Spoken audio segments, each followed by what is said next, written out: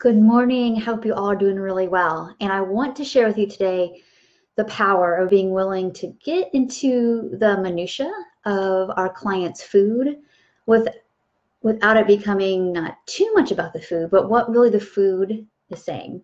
So I'm your host, Tracy Brown. I'm a somatic non-diet dietitian and attuned eating coach. And you all, a lot of you totally know me, and I'm so grateful you're here and you're I just appreciate and love your loyalty and your respect and your willingness to share your your wisdom here too. So you're welcome and your wisdom is really, really needed here. So thanks for stopping by. So we're gonna dive right in. And something that I coach all of my and supervise all my dietitian and coach um, folks on is the power of being able to, to unpack food journals because it is one of the most overlooked but powerful ways that we can help our clients feel really, really seen. So if you hear in the background my dog coughing, he's not dying, but he does have a collapsed trachea, so he's very uncomfortable sometimes, but he's okay. He's got medication, we're all right. Um, so anyway, he's right outside my door begging to get in, that's the issue. But anyway, I digress, interruptions, but what's really important about food journals is that we can take like a day in someone's life and see if we go through like time and the food and the hunger and fullness even if it's not accurate hunger and fullness and we can and then we can ask like what's happening in your life and what's going on. Either i call it like what is if you're not saying like if people say like well there's nothing major going on. I just i don't feel hungry or there's nothing really bad bothering me right now. I just can't stop the fullness. And then i think i'm out of control we want to ask like what has been like the flavor of this season of life? Or what feels like this overhead fluorescent light over us like zzz, that it's like in the background? And it might be in your client's total unconscious and they don't really understand what it is that's bothering them there's just something there. Or it could be that they kind of know but they're being people pleasers so they're pushing that down they're pushing their needs down and they can it will pop into their consciousness and maybe that's when they restrict or binge um, or maybe it kind of doesn't and they keep themselves busy and they kind of go on. But being able to locate that and share that with them live is incredibly impactful.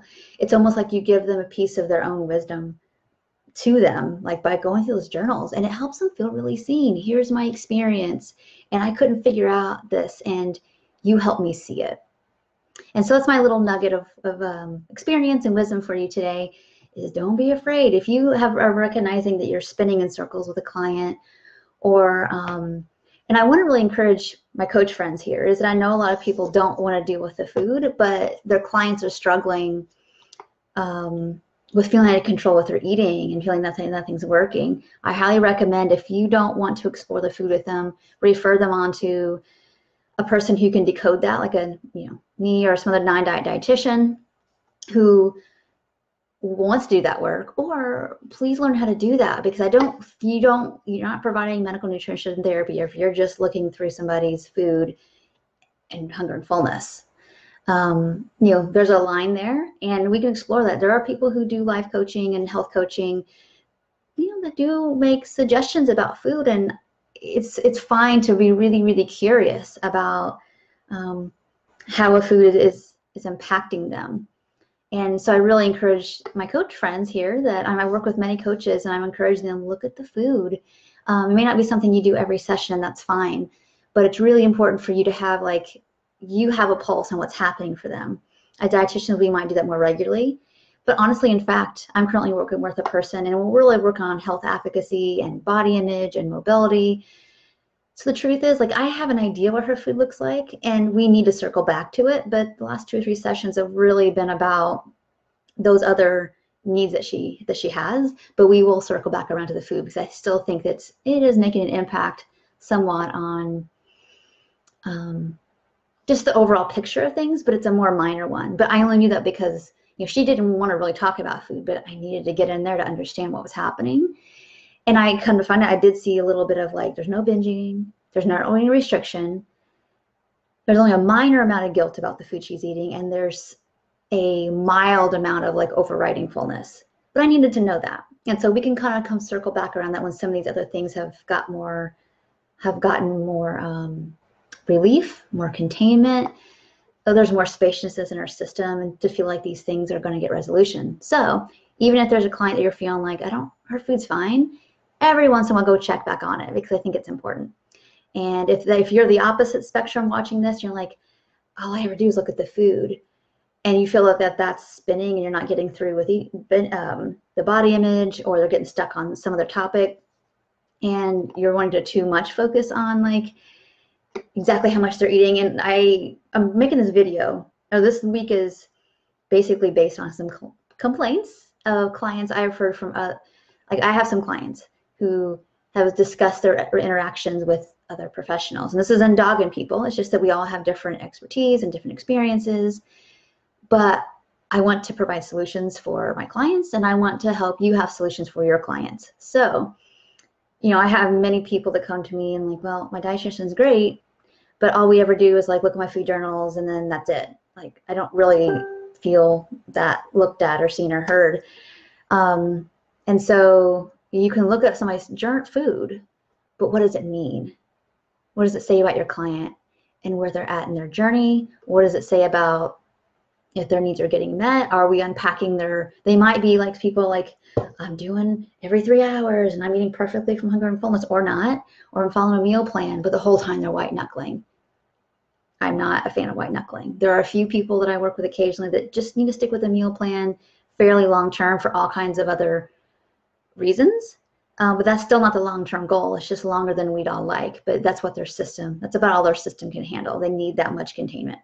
But for the most part, people are like itching to get off meal plans or even itching to like stop doing food journals, all that kind of stuff. We all want our autonomy and freedom and independence. And the quicker you can get in there and help them at the rate that their system can handle, the more successful they're going to be. And you're going to feel really empowered as well. So thank you all so much for watching. I meant to make this like two minutes. Now we're at minute seven, but I appreciate that. Oh, Ashley, I'm getting ready to hop off. Um, please go back and watch the beginning. I think you'll enjoy it. Um, but if you have any questions, please tag me and I'll come back and answer your questions. So thanks so much and take care. Bye. Oh, and one last thing. My um, Peace with Food um, forum slash tuning for Tune Living Academy is open for clients that just can't afford any of our one-on-one services, um, who need support in between sessions, who need some peer support, um, and I also do a lot of Q&A in there as well. So if it's $25 a month, I, you know, this is one of my main missions with this work is to provide some accessible care and, but not just like, okay, here's some info and figure it out. It's like, I'm, I'm really involved in it. So um, it's really important. And I'll put a link down here so you all know about it. Not that I'm trying to get you to, I don't want you to lose your clients because of this, but I think it's a really good adjunct for people that feel alone and need some people to talk to. If in their besides you maybe their therapist or coach they don't have anybody else. So this is what this is for too. And i tend to only attract really loving kind sensitive people. And there's no snark allowed in this group. So um, i kind of i'm not even too that worried about that's going to be an issue. So i haven't been overly policing the last 24 hours what's going on in that. So kelly good morning. Please watch from the beginning. Um, if you have any questions tag me and i'll talk to you all real soon. Take care. Bye